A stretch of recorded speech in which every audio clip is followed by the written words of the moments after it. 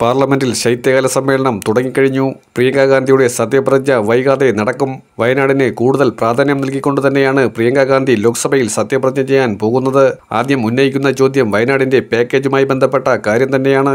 വയനാട് മുണ്ടക്കയിലും ചൂരൽമലയിലും ഉരുൾപൊട്ടലിലുണ്ടായ സർവനാശത്തിൽ കൃത്യമായ വിലയിരുത്തൽ നടത്തിക്കഴിഞ്ഞു. വയനാടിന് ദുരിതാശ്വാസ പാക്കേജ് കൊടുക്കുന്നതിൽ കേന്ദ്രം അലംഭാവം കാട്ടി. മാത്രമല്ല വൈരാഗ്യ ബുദ്ധിയോടുകൂടിയായിരുന്നു അമിത്ഷായുടെ സമീപനം. ഇതിനെയെല്ലാം ചോദ്യം ചെയ്യുന്ന കൃത്യമായ നീക്കമാണ് ആദ്യം പ്രിയങ്കയിൽ ഉണ്ടാകാൻ പോകുന്നത് വയനാടുകാർ ഏറെ പ്രതീക്ഷിച്ചതും ആ ഒരു വിഷയം തന്നെയാണ്. പ്രിയങ്ക ഗാന്ധിയുടെ കയ്യിൽ വയനാട് സുരക്ഷിതമാണ് എന്ന് എന്തുകൊണ്ട് ഇത്രയധികം വോട്ടർമാർ ഒരുപോലെ തീരുമാനിച്ചു എന്നതിന്റെ കൃത്യമായ ഉത്തരം തന്നെയാണ് പ്രിയങ്ക ഗാന്ധിക്ക് ലഭിച്ച ഭൂരിപക്ഷം. നരേന്ദ്രമോദി വയനാട്ടിൽ വന്ന് പ്രകസനം നടത്തി തിരിച്ചുപോയെങ്കിലും ആശ്വാസകരമായ ഒരു പ്രഖ്യാപനവും നടത്തിയിട്ടില്ല. വയനാടുകാരോട് കാണിച്ച ഈ സമീപനത്തിന് കൊടുക്കുന്ന കൃത്യമായ മറുപടി കൂടിയായിരിക്കും പ്രിയങ്ക ഗാന്ധി പാർലമെന്റിൽ ഉന്നയിക്കാൻ പോകുന്നത്. പ്രിയങ്ക ഗാന്ധി വയനാട് ലോക്സഭാ തെരഞ്ഞെടുപ്പിൽ നിന്നതോടുകൂടി വർഗീയ വിഷം ചർച്ച ചെയ്യാൻ ബി ജെ പി നിരവധിയായിട്ടുള്ള പൊതുവേദികൾ സംഘടിപ്പിച്ച് മുന്നോട്ടു പോയെങ്കിലും അതെല്ലാം പൊളിഞ്ഞുവെന്ന് തന്നെ പറയേണ്ടി വരും. ബി ജെ പി സ്ഥാനാർത്ഥിയായ നവ്യ ഹരിദാസിന് കെട്ടിവെച്ച പണം തിരിച്ചു കിട്ടിയില്ല എന്ന് മാത്രമല്ല കഴിഞ്ഞ തവണ കെ സുരേന്ദ്രൻ പിടിച്ചതിനേക്കാൾ മുപ്പതിനായിരം വോട്ട് കുറച്ചാണ് അവർ പിടിച്ചത്. അതായത് കെ സുരേന്ദ്രൻ പിടിച്ചത് പതിമൂന്ന് ശതമാനം വോട്ടാണെങ്കിൽ പതിനൊന്ന് ശതമാനം മാത്രമേ നവ്യ ഹരിദാസിനെ പിടിക്കാൻ സാധിച്ചുള്ളൂ.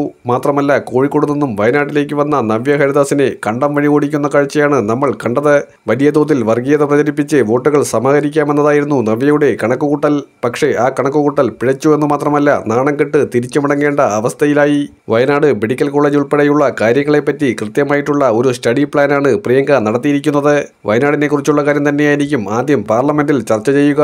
മൂന്ന് ജില്ലകളിലാണ് വയനാട് ലോക്സഭാ മണ്ഡലം വ്യാപിച്ചു കിടക്കുന്നത്.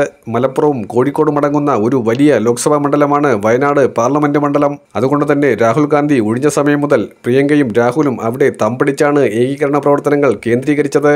അതാണ് ജനങ്ങളെ അവരുമായി അടുപ്പിച്ചതും. പ്രിയങ്ക ഗാന്ധി പറഞ്ഞിരിക്കുന്നത് ഞാൻ ഇവിടെ തന്നെ ഉണ്ടാകും എങ്ങും പോകില്ല എന്ന് തന്നെയാണ്. കന്നിയംഗത്തിലെ മിന്നുന്ന വിജയത്തിനു പിന്നാലെ വയനാട്ടിൽ വീടും ഓഫീസും സജ്ജീകരിക്കാനുള്ള ആലോചനയിലാണ് പ്രിയങ്ക ഗാന്ധി പ്രചരണം തുടങ്ങിയത് മുതൽ ഓരോ പഞ്ചായത്തുകളും സന്ദർശിച്ച് നടത്തിയ കൃത്യമായ പ്രവർത്തനം വോട്ടർമാരുടെ മനസ്സിൽ പ്രിയങ്ക ഗാന്ധി ഉണ്ടാക്കിയ സ്വാധീനം ചെറുതല്ല.